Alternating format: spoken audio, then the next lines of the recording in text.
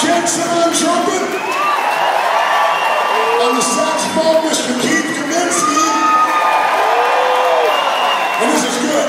On the trombone in 1940, his dad was a bat boy for the Toledo Mud Hens.